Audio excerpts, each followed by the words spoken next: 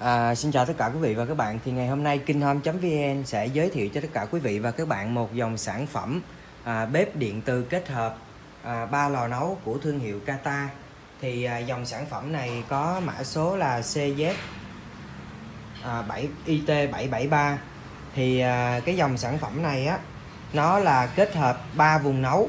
Thì trong đó vùng nấu lớn nhất là vùng nấu hồng ngoại à, hai vùng nấu nhỏ hơn là hai vùng nấu từ thì cái vùng nấu lớn nhất nó có đường kính là 270 mm cái đường, cái vùng nấu nhỏ bên từ này là nó có đường kính là 200 140 mm và cái à, bếp nấu từ bên phía tay à, phải là có đường kính là 210 mm ha, thì mình sẽ lấy thước đo cho các bạn xem.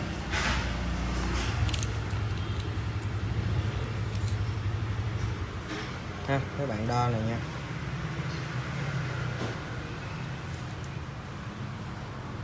Đó đây ha.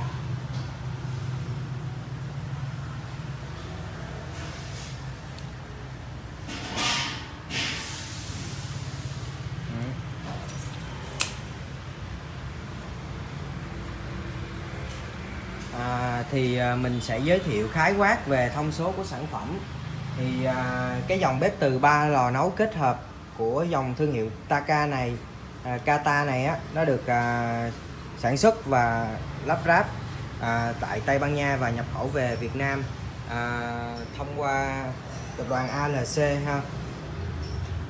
Tiếp theo đó là bếp có cái mức công suất tổng là 6.400 kW à, à, 6.400W à, bếp có tích hợp là chức năng hẹn giờ chức năng khóa an toàn chính mức công suất nấu à, chức năng xác định vùng đặt nồi tự động à, chức năng hẹn giờ nấu chức năng báo dư nhiệt à, trên bề mặt bếp sau khi nấu. À, đặc biệt là khi các bạn nhìn vào sản phẩm á các bạn sẽ thấy là cái bảng điều khiển của sản sản phẩm rất là đơn giản và việc mà nó có 3 đến tận 3 vùng nấu và sử dụng một bảng điều khiển đôi khi nó làm cho các bạn cảm thấy khó. Tuy nhiên là à, trong cái video này mình sẽ hướng dẫn cho các bạn sử dụng luôn để các bạn à, có thể dễ hình dung ha. Sau đó thì à, mình sử dụng sản phẩm cho nó dễ dàng hơn. Đặc biệt là cái dòng sản phẩm à, Kata 3 lò nấu này nhập khẩu Tây Ban Nha này nó sử dụng mặt kính Scott Ring nó được trang bị ha. Đây các bạn thấy nè. Đây là mặt kính Scott Ring ha. Thì khi mà quay cận cảnh các bạn thấy là nó có cái màu là cánh dáng ha. Các bạn có thể nhìn thấy xuyên bên dưới luôn ha. Đó. À, ngoài ra thì à, cái à, lò nấu từ bên phía tay phải các bạn còn có thể sử dụng được cái chức năng nấu nhanh butter với cái mức công suất lớn nhất là 3000W nha. Đó. Thì à, với cái à, thông thường á thì cái ờ, chức năng của cái dòng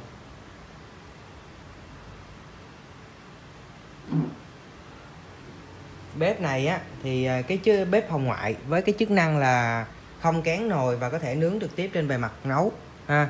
Thì để nó hạn chế cho cái việc là hai dòng bếp từ này nó nấu thì ờ, rất là nhanh rất là tiết kiệm điện. Tuy nhiên là nó lại kén nồi nấu. Cái sự kết hợp này làm cho cái sản phẩm này nó đa năng hơn. Đây cũng là một cái uh, Ừ, sản phẩm thiết bị bếp à, điện từ kết hợp mà quý khách hàng có thể à, tham khảo để sử dụng. Thì à, sau đây mình sẽ bấm sản phẩm lên để mà hướng dẫn sử dụng cho các bạn.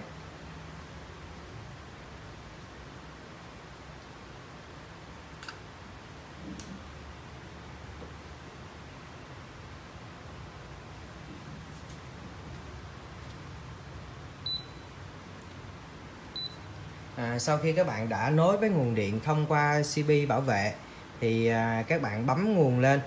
Ha nhìn thì sản phẩm thì rất là đơn giản với ba phím và à, một cái gạch ngang lớn. Thì các bạn bấm bấm nguồn lên thì nó có ba vùng chọn vùng 1 vùng 2 vùng 3 và ở đây là cái bảng à, hẹn giờ. Thì à, ở đây là phím à, khóa an toàn ha thì ví dụ đây là vùng nấu hồng ngoại, các bạn muốn chọn nấu vùng nấu hồng ngoại thì các bạn nhấn vào. Đây, cái số 0 đang nhấp nháy này. Ha, đây, mình làm lại nha. Các bạn sẽ chọn vào cái vùng nấu của bếp hồng ngoại.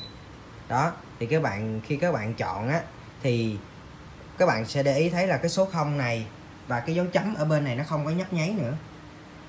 Ha ha, còn khi mà mình không, mình bỏ, mình nhấn vào để mình bỏ chọn nó thì tất cả các dấu chấm ở ba cái biểu tượng, ba vùng nấu này nó sẽ nhấp nháy nè. Các bạn để ý nè. Ha, đây là các bạn nhìn thấy chưa? Nó đang nhấp nháy đúng không? Bây giờ mình chọn vô cái vùng nấu hồng ngoại. Thì hai cái vùng nấu còn lại nó không có dấu chấm, nó không còn dấu chấm nữa. Chỉ còn cái vùng nấu hồng ngoại bên này nó còn dấu chấm và dấu chấm không nhấp nháy. Thì bây giờ mình sẽ, bây giờ mình sẽ chọn nha. Thì bếp hồng ngoại nó không kén nồi cho nên nên là mình không cần bỏ nồi. À, nồi nhiễm từ mình vẫn sử dụng mình vẫn mở lên được. Đó thì mình sẽ chọn ha mình à, sẽ tăng giảm. Thì như các bạn cũng thấy rồi ở đây là mình đang chọn tới mức 2 ha tại vì là cái bảng điều khiển cảm ứng của bếp điện từ IT773 này nó rất là nhạy nó cực kỳ nhạy luôn. Cho nên khi các bạn chỉ cần chạm sơ vào thôi ha là nó đã điều khiển rồi. Rồi à, khi mà các bạn bỏ ra khoảng à, 5 giây thì bếp sẽ sẽ không có hoạt các bạn muốn điều khiển lại thì các bạn phải chọn. Các bạn phải chọn vào phần nấu của cái bếp hồng ngoại. Thì à, mình sẽ trượt cho các bạn xem cái độ nhạy của bếp nha. Đó. Ừ. ở vùng nấu hồng ngoại thì nó tới 9 mức công suất nha các bạn. Ha. và nó được biểu thị bằng những cái dòng gạch này cũng như là số công suất ờ, mức công suất ở trên ờ, à, lò nấu hồng ngoại ha. vùng nấu hồng ngoại ha. thì như các bạn đã thấy ở đây là hiện tại là bếp đang là ở cái chế độ là nấu toàn mâm ha ở, ở chế độ nấu toàn mâm mâm rất là lớn ha các bạn để ý cái đường đứt ha cái đường đứt ở giữa đây là ở bên trong máy nó có cấu tạo một cái thanh cảm biến nha các bạn cho nên là khi các bạn nhìn thấy sản phẩm là nó ở ở giữa tâm nó có một cái đường đứt đó ha thì đây là bình thường nha không có vấn đề gì hết nha các bạn. Đây cấu tạo sản phẩm nó như vậy nó có một cái thanh cảm biến ở bên trong. Đó tiếp theo thì mình sẽ hướng dẫn cho các bạn cái chức năng hẹn giờ nha. Chức năng hẹn giờ của của bếp nha. Thì à, như các bạn đã thấy rồi ở trên cái bảng điều khiển nó không có cái biểu tượng hẹn giờ. Tuy, tuy nhiên là khi các bạn mở nguồn máy lên thì nó sẽ có cái biểu tượng cảm ứng ha đèn led phát sáng ha. Đây là mình chọn lại cái vùng nấu hồng ngoại nè. Thì các bạn thấy không? Đây thì khi các bạn chọn vào đây ha. Đó các bạn chọn vào đây ha. Phút và giây ha thì các bạn chọn vào đây. Đó mình à, mình ví dụ nha. Đây mình chọn lại nè. Thì các bạn có thể tăng giảm. À, mình chọn lại đây nè. Mình nè. Các bạn có thể đó các bạn cộng nè tăng giảm nè thấy không? Đó tùy ha. Ok bây giờ mình để một một uh, phút thôi để um, cho các bạn uh, thấy được cái uh, chức năng hẹn giờ nha. Mình sẽ đợi một tí ha. bếp đang nấu tàn mâm lửa mặt bề mặt hồng ngoại rất là đẹp. Và mình đang nấu ở mức là công suất là chín nha các bạn.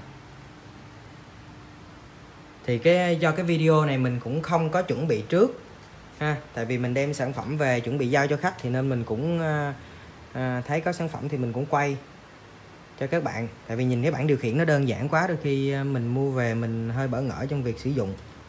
Mình cũng không để ý là trên à, mạng đã có cái đơn vị nào làm cái hướng dẫn sử dụng này chưa nữa.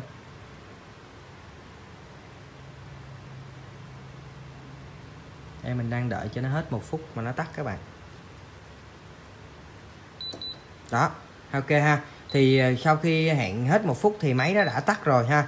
Khi mà máy tắt thì ở đây, ở cái vùng nấu ờ, hồng ngoại mà mình chọn để nấu hồi nãy nó hiện lên chữ H các bạn thấy không ạ? À? đây nè, các bạn thấy chữ H không?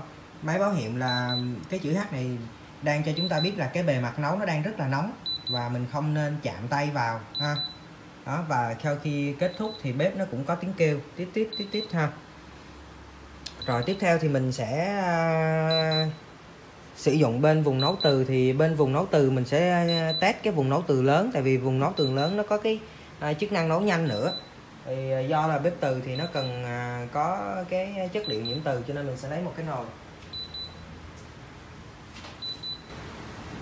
Ok thì bây giờ mình sẽ test nấu trên vùng nấu từ lớn nhất à, trên cái bếp nấu này cái vùng nấu từ lớn ha. Các bạn các bạn thấy không? Đó thì à, trên đây nó cũng có ghi introduction butter ha. Đây mình bỏ bỏ có một bỏ một cái nồi có khả năng nhiễm từ cùng với đó là mình bỏ một ít nước vào. Thì à, tiếp tục nha. Cái nè cái à, khi mà nguồn điện vẫn còn thì nó vẫn còn báo hát là cái bề mặt bếp hồng ngoại nó vẫn đang còn nóng nha các bạn. Ok thì à, ở đây mình sẽ à, mở nguồn ha. Mình mở nguồn và mình chọn à, vùng nấu từ lớn. Ok, thì mình chọn vào thì dấu chấm nó đã không còn nhấp nháy nữa thì mình tăng nhiệt độ ha. Thì các bạn để ý là trên cái vùng, trên cái bảng điều khiển này nó không có cái phím butter thì làm sao để các bạn biết? Thì các bạn chỉ cần, đây là kéo kéo lên ha các bạn kéo. Ở bếp hồng ngoại nó chỉ bạn các bạn chỉ kéo lên được tới mức chín thôi. Nhưng mà vì cái vùng nấu từ này nó có khả năng nấu nhanh butter nên các bạn có thể kéo lên đến thêm một nấc nữa. Đây ha chức năng butter nó sẽ có cái ờ, biểu tượng là chữ P ha. Chữ P ở trên cái à, vùng nấu ha vùng nấu à, từ. Và kèm theo đó là trên cái dãy trên cái dãy hiển thị mức công suất thì nó nó có chữ P luôn. Đó, các bạn thấy không? Nó hơi mờ. Mình quay bằng điện thoại thôi nên nó hơi mờ các bạn thông cảm. Ha ok. Nó rất là nhanh nước nó rất là nhanh sôi nha các bạn. Do là cái nồi mình thử là cũng nồi nó cũng ờ, thường thôi. Nó nồi một đáy cho nên nó nó càng nhanh sôi hơn nữa. Ok vậy bây giờ mình giảm xuống nha tại vì nhiệt độ nó quá lớn rồi. Ok mình giảm xuống thì à, ở đây mình giới thiệu các bạn thêm một cái chức năng nữa mà cái chức năng đó thì nó khá đơn giản và nó có cái biểu tượng ở trên bàn phím đó là cái chức năng à, khóa an toàn ha. Thì các bạn muốn cái à, bấm cái chức năng khóa an toàn này thì khá là đơn giản thôi. Các bạn nhấn khoảng cỡ chừng 3 giây á, thì đèn của hiển thị chưa? Đó cái đèn của cái chức năng khóa an toàn nó sẽ sáng lên. Thì bây giờ các bạn có bấm gì ở xung quanh đây nó cũng không được hết á ha, chạm vào thì nó cũng không được, nó rất là an toàn. Thì các bạn muốn ờ, gỡ ra thì các bạn muốn tắt cái chức năng khóa an toàn đi thì mình chỉ cần nhấn khoảng 3 giây thì ờ, nó sẽ tự động nó tắt. Thì ờ, cái chức năng hẹn giờ của cái dòng vùng nấu từ thì cũng tương tự như vậy thôi. Các bạn bấm vào ha, để chọn ha, thì ở đây nó sẽ hiển thị, ha. Phút và giờ. Thì các bạn ví dụ như phút thì các bạn bấm nhấp vô phút, nó đang nhấp nháy thì các bạn kéo lên, đó ha cái trượt trượt lên ha. Đó. Ok, thì giờ thì các bạn chọn thôi. Đó ha. Ok ha. Đây, mình tắt ha. Mình tắt cái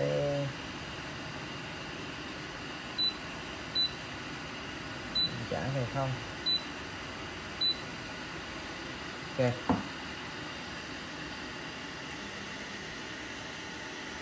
Thì à, mình đã giới thiệu xong rồi. Còn cái vùng nấu từ nhỏ này mình thì chắc là mình cũng không có cần phải nói thêm nữa để cái video này nó ngắn thôi. Thì à, hồi nãy mình có một cái vấn đề ở đây là mình quên nói với các bạn. Là mình sẽ mở cái à, mình à, mình sẽ tắt tắt bếp từ đi để mình chọn qua cái vùng nấu này. À, hồi nãy thì bên bếp hồng ngoại á mình quên nói tại vì cái à, vùng nấu hồng ngoại này nó có à, cái à, lò nấu hồng ngoại này nó có hai vùng nấu vùng nấu nhỏ và vùng nấu lớn. Thì bây giờ mình sẽ test.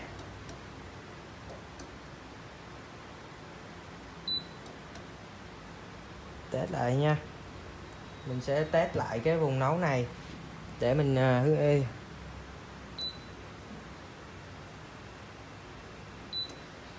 ha à, đây đây cái phím này cái phím này là cái phím à, cái phím uh, chọn vùng nấu trên bếp hồng ngoại.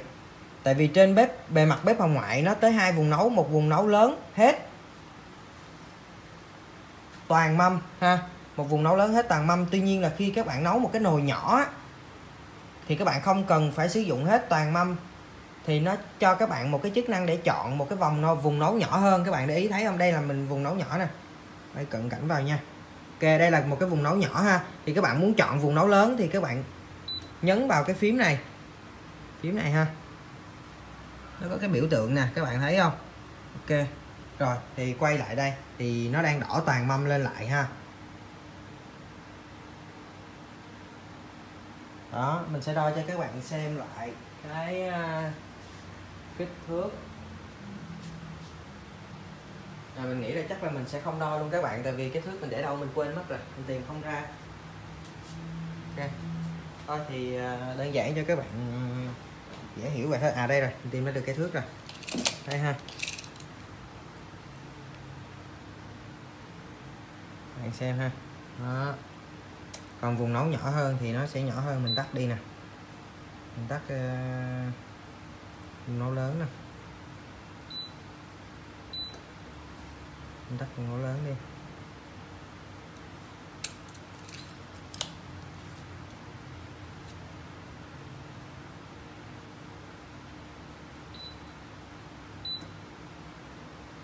Ok tắt vùng nấu lớn thì nó nhỏ lại nè. Nha nó nhỏ lại. Những cây này thì nó khá là đơn giản rồi. À, mình à, không cần phải nói gì thêm mình sẽ khái quát lại về cái ờ, bếp này một lần nữa tại vì hồi nãy ở đầu video thì mình nói nó hơi ờ, đơn giản và nó hơi ngắn. Thì mình xin nói lại là cái dòng bếp điện từ kết hợp của thương hiệu Kata này là dòng bếp Kata IT773 trong đó bếp sử dụng hai vùng nấu từ và một vùng nấu hồng ngoại ha. À, thì cái vùng nấu hồng ngoại lớn bên phía tay phải thì nó sẽ sử dụng có kết hợp chức năng Potter. Kèm theo đó là hệ thống điều khiển cảm ứng trượt ẩn dưới bề mặt à, của mặt kính. Ha. À, sử dụng mặt kính Scott Ring ha. chính mức công suất cho các vùng nấu. Kết hợp chức năng nấu nhanh Potter ở mức công suất công suất maximum là 3.000W ha. Và tổng công suất của bếp là 6.400W hay còn gọi là 6,4 kW những cái chức năng kèm theo của máy như chức năng khóa an toàn có, chức năng xác định vùng đặt nồi tự động có trên bếp từ, chức năng hẹn giờ nấu trên từng bếp có, chức năng báo dư nhiệt trên mặt bếp sau khi nấu có, chức năng tự động tắt bếp khi không sử dụng có. Ok, chừng đó và tiếp tiếp theo nha. Mình test cái chức năng này cho các bạn thì khi các bạn đi mua sản phẩm á thì các bạn hay nghe nói là chức năng chống tràn ha? Thì các bạn không có cách nào để không lẽ giờ bây giờ các bạn thử là các bạn nấu thức ăn cho nó tràn ra để coi bếp nó có tắt hay không. Và cái này thì mình cũng uh, uh, tham khảo các nhà sản xuất đồ và những canh kỹ thuật á thì mình uh, người ta chỉ cho mình cái chức năng này nó cũng đơn giản thôi chắc cũng có nhiều người biết rồi còn ai không biết thì mình à, làm cho các bạn à, có thể tham khảo ha. Thì bếp đang nấu đúng không? Bề mặt bếp phòng ngoại đang nấu. Ok và bây giờ mình sẽ à, à, các bạn tưởng tượng như là khi thức ăn mà nó tràn ra thì nó tràn tới à, bảng điều khiển đi ha. Thì nó sẽ có một cái con cảm biến. Thì bếp từ lúc đó thì cái à, bếp nó sẽ tắt thì bây giờ mình, ví dụ như bàn tay của mình là thức ăn nó tràn ra nha, thì mình che lại.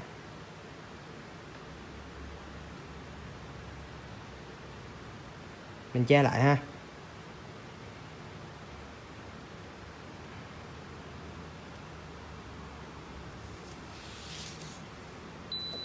Đó, ok, các bạn thấy chưa? Khi mà mình che lại, mình đóng vai trò bàn tay của mình như là cái à, thức ăn nó tràn ra và nó nó che đi cái bảng điều khiển thì thật sự ra ở bên trong á, của cái bảng điều khiển này nó có một cái bộ phận cảm biến, ha. Thì khi mà thức ăn nó tràn ra, nó tràn tới cái bảng điều khiển, ha, nó sẽ che đi cái con cảm biến đó. Thì bếp nó sẽ tự động nó ngắt, như các bạn thấy hồi nãy mình test cái chức năng chống tràn, ha. Đó, thì cái chức năng chống tràn nó đơn giản vậy thôi. Thì các bạn, khi các bạn mua sản phẩm, các bạn sẽ không test được cái chức năng này và có thể là thực sự đi ra các showroom thì cũng hiếm có showroom nào cho các bạn uh, test uh, sử dụng máy thực tế lắm. Tại vì sản phẩm trưng bày thì với lại sản phẩm giá thành nó cũng cao người ta cũng không có làm cái điều đó. Thì mình sẽ làm cho các bạn xem. Ok thì uh, uh, mình xin dừng video tại đây.